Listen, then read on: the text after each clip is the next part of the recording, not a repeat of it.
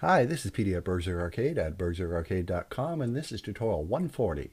Now in our previous tutorials we've been working up to equipping weapons. So we've had our chest when it spawns randomly generate uh, items for us and when we open them up you know we can see them, add them to our inventory and now we can click them in our inventory and add them to our player. Uh, in this tutorial I want to start working on adding the proper mesh to our character for the weapon that they currently have equipped. So let's go ahead and open up Unity and I'll also open up MonoDevelop. Alright, so I've gone ahead and in previous tutorials I showed you how I was going to equip my items to my character. And since I don't really have that many different ones, I've equipped them all to my character.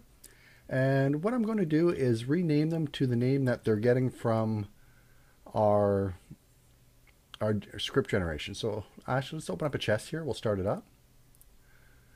And I'll just open the chest. And you'll notice this one's called a Salifi, a Short Sword, and Morning Star, the three that I've created. I'm going to go ahead and turn off my ambient sounds just to make things a little bit easier to understand, or at least hear me. So let me just find my player camera. I'm going to shrink that down and I'm going to turn off my audio source. And that should stop the playing. And it does. All right. So I'm going to select one of my weapons and you see I have it hooked up to my mount. And in this particular model provided by Frogames, it's called Mount 3. And I'm probably not going to do anything with the mount, but I generally like to rename them to something a little more logical to me. And Mount 3 just doesn't do it. So I'm going to call this main hand. So I know I'm going to want all my weapons equipped to my main hand. And like I previously said, I'm probably not going to do anything with it, but I'm still going to rename it. So if we look underneath, I have a few different weapons here equipped. Uh, there's a sword, my Morning Star, the fork that I've been running around with, and a couple different axes. So what I'm going to do is start renaming these. So I'm not actually going to do anything with axe 1.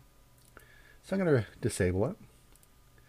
Axe 3, I'm going to name it uh, Salifi, and I believe that was the spelling I used. I'll have to check. And once I've renamed it, I'll disable it. And the fork I don't actually use yet, so I'll disable that. My Morning Star, I just have to get the letters off the end. And I'm not too worried about capitalization because I'm not going to be calling them by name. I just want to have the proper spelling so I know uh, comparison to the script what it is. And this is actually my short, oh, I forgot to disable the Morning Star after renaming. And this is actually my short sword, but looking at it, it's not very short. So I'm going to go ahead and just call it sword. And it will be the, the basic sword that everyone has.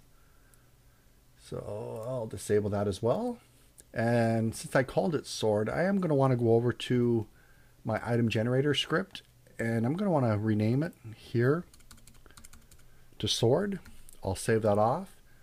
But that also means I have to come into my resources folder and change it there as well.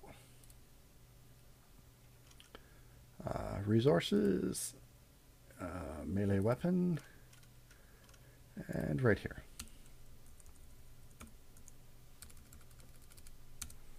All right, so I've got them all changed.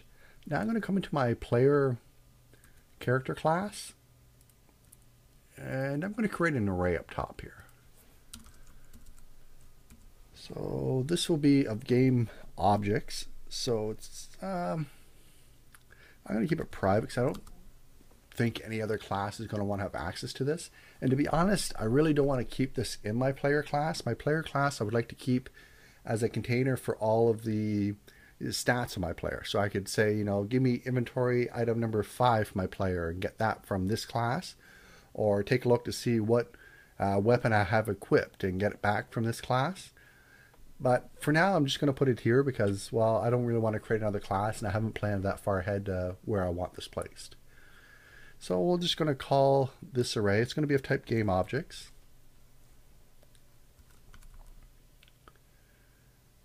And auto sense isn't working for me today, but that's okay. And I'm going to call this weapon meshes.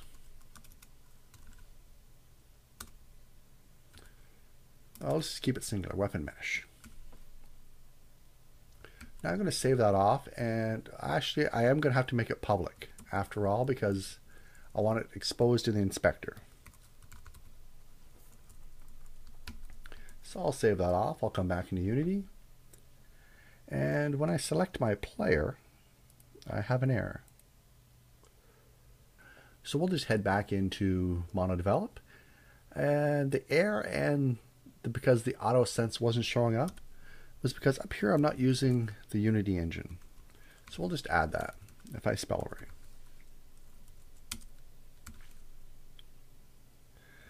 So I'll save that off again. We'll head back into Unity and the error should go away. And it does. So I'm going to close up my player now. And when I select it, if I look at the player character script, we now have weapon meshes exposed.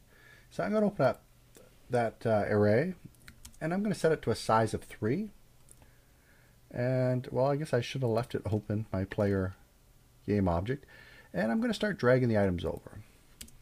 I actually want them to be all lowercase, but it really doesn't matter, like I said before. So, of course, now I screwed that up. Uh, we'll select my player again and start dragging the items over. So I'm going to start off uh, with the sword. I'll go with the Morning Star. And it looks like I moved my Sliffy. So I'll move it back. And of course I have to select my player again. And we'll drag the Sliffy down there now. Now you can get all fancy, make it alphabetical or you know whatever you want. Uh, just keep note of what order they are in. And I'll save off my scene. I'm going to head back into MonoDevelop. And during this set method, when we're actually equipping an item, is when I'm going to want it to enable the proper mesh. So I'm going to change the format a bit just to give me a bit more room. And now instead of saying just equip weapon equals value, I'm also going to want to get the name of the equipped weapon and equip the corresponding mesh. So I'm going to do this with a case block. So I'm just going to come down here and do a switch and what we're going to switch on is the equipped weapon dot name and we'll just make case blocks for it so case uh, the first one will be sword and for now I'm just going to do a debug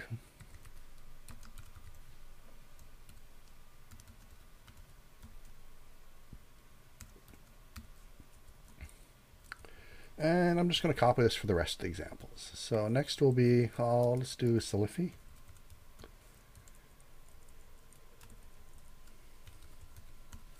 And next will be Morningstar.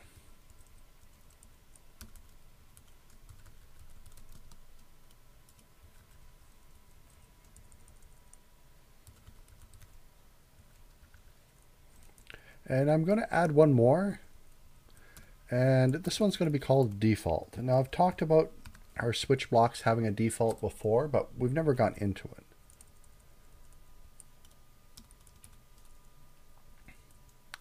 And this is going to be for when they don't have a weapon. So I'll just debug out fist. Now if we go back into Unity, uh, provided we have no errors, there should be debug messages now every time we equip something. So let's go ahead. We'll open up a chest.